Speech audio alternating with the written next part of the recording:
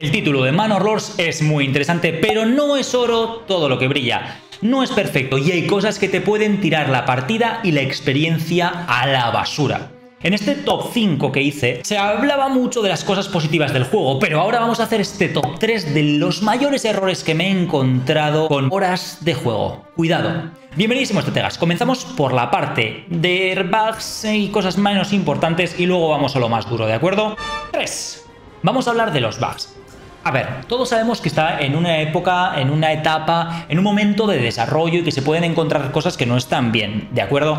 Y así como encontré algunos pequeños bugs como etiquetas o nombres que estaban mal puestos y algunos personajes que se atascaban por ahí y no le di mucha importancia, ¿de acuerdo? Cosa que tenemos que dar, ser un poco laxos, ¿no? Ya que había pequeñas cositas que se encontraban por ahí y decías, bueno, no pasa nada, no me arruina la experiencia, entiendo que el juego está en desarrollo, todas estas cosas que podemos decir. Pero hubo una cosa en concreto que me sacó del juego. Literalmente, literalmente me hizo dejar el juego. El buey con el que construyes, con el que llevas la leña de un sitio a otro para poder hacer la construcción, lo que, diríamos que son los pilares de construcción, pues bueno, como digo, tiene que ser movidas por este buey. Bien, hasta ahí todo podéis decir, ¿vale? ¿De acuerdo? Y Manco, ¿cuál es el problema? Pues el problema es que este animal, del cual dependes completamente, se quedó atascado en un momento con unos árboles y no se movía. Y decía yo, ¿pero qué está pasando aquí? Claro, llega un momento en el que no puedes seguir construyendo si tu buey no se mueve. Yo incluso intenté mover a mis leñadores a que talasen la zona de los árboles, incluso probé a eliminar, a mover el edificio del que depende este buey no hubo manera. No hubo manera y después de igual 10 horas de partida que estuve probando un montón de cosas, tuve que dejarlo porque además no se podía guardar partida en ningún momento porque en esta demo tenías que jugar todo seguido. Bueno, pues la partida después de 10 horas o las que fuesen, se fue a la mierda. Así que los bugs sí, podemos ser un poco diligentes, pero hombre, no me fastidies. La partida a la mierda porque no puedes seguir construyendo si el buey no mueve estos árboles. 2. Desniveladísimo. El juego está completamente desnivelado. Al principio parece que todo está bien, pero luego me di cuenta de que hice una casa, una única casa con un patio enorme y le puse, de una, súper barato, ¿eh? le puse a sacar zanahorias, es decir, una casa normal que da para tener ciudadanos, le puse, le habilité un campo con un montón de zanahorias. Pues bueno, ya tuve zanahorias para toda la partida. Igual lo hice este en el 10% primero del juego y nueve horas después todavía tenía zanahorias. O sea, una locura, ¿eh? me, dio el momento que empezaron a cosechar, ya nunca pararon de tener zanahorias. Luego hay otras cosas como, por ejemplo, la mina de hierro en la, demo. Vale, es una demo, lo tenemos en cuenta, sí. La, mina de hierro no valía para, para nada, para nada. O sea, era completamente inútil. Y dices, bueno, es una demo, faltaban cosas, el tema militar, eh, se puede entender. Vale, hasta ahí dices, vale. Pero después, en una sola cosecha, en una sola estación, el momento que coseché trigo, ya tuve trigo, trigo para el resto de la partida. Pero para toda la partida, ¿eh? O sea, una vez que coseché, que fueron un montón, no me acuerdo si 300 de trigo, 1000 de trigo, no sé, una cosa loca, porque tenía un campo enorme donde podían trabajar 10 granjeros. Bueno, la cuestión es que una vez que cogí ese trigo, luego lo molí en el molino, ¿de acuerdo? Y con todo eso tenía sin parar año tras año a trabajar ahí a los panaderos como locos, como locos, y daba igual, no se gastaba el pan, ya tenía pan para toda la partida. Bueno, el tema del balanceo, eh, espero desde luego que no quede así. Podemos romper otra lanza a favor del creador de Manor Lords y pensar que, es, que el balanceo va a tocarse más adelante. Espero que sí, porque si no el juego no va a valer una mierda. ¿Confiamos? Confiemos. Pero como desde luego quede así, Manor Lords pasará a mejor vida.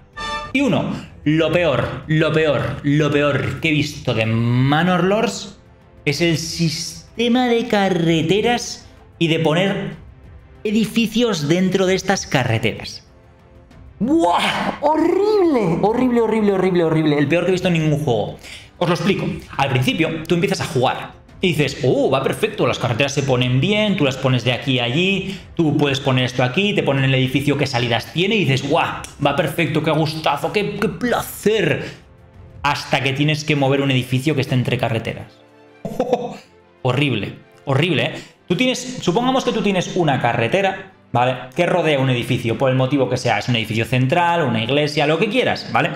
si mueves ese edificio, que hay una opción de moverlo, o lo destruyes, ¿vale? Y después quieres poner en ese interior un, edificio con un tamaño aproximado, o quieres poner el mismo edificio que has quitado antes para tener recursos, o por el motivo que sea, no vas a poder. No vas a poder ni de coña, porque en el momento en que intentas poner un edificio, detecta que hay varias carreteras alrededor y el edificio, en vez de hacer pum y colocarse, empieza por todas partes. O sea, una maldita locura. O sea, no apto para epilépticos. Me imagino que le habrán reportado, le habrán informado de este error miles de personas y habrá dicho, vale, vamos a tenerlo en cuenta. Porque tú realmente cuando empiezas a jugar no te das cuenta, piensas que todo va bien. Pero en el momento en que quieres empezar a reestructurar tu aldea, te peta la cabeza. Y os voy a dar uno extra. No es un error per se, ¿vale? No es que sea algo que han creado y no está bien hecho, sino que es algo que podían haber añadido y que le hubiese dado una funcionalidad muchísimo mejor al juego. Hubiesen dado mucho más sabor al juego. Entiendo que al final en algún sitio hay que poner el límite, pero hay algo que hubiese hecho que el juego fuese mil veces mejor. Está preparadísimo el juego para eso, pero no lo han hecho al final. Una pena. ¿Y qué es esto? El ciclo de día y noche. Así como, por ejemplo, en las diferentes estaciones tienes que estar acumulando recursos o, por ejemplo, leña para tener, para tener calor en el invierno y que puedan sobrevivir tus aldeanos, hubiese estado genial que en el ciclo de día-noche, por el día, por ejemplo, trabajas en los ciudadanos o los aldeanos, como queréis llamarlo, y que por la noche tengan que comer o tengan que refugiarse o tengan que calentarse y que te fuese consumiendo esto. Porque me dio la impresión de que, por ejemplo, la leña únicamente se, se consume, solamente se gasta en invierno. Podrías hacerlo que, por ejemplo, para calentar las noches también. Este tipo de cosas. O que si por la noche no tienes ropas, mantas, cuero suficiente, que falleciesen algunos aldeanos por el frío, ¿me explico? O que, por ejemplo, por la noche no se pudiese cazar por la falta de iluminación. No lo sé, algo así yo creo que podría haberle dado mucho juego. Y además es que el juego parece que está perfectamente preparado para esto.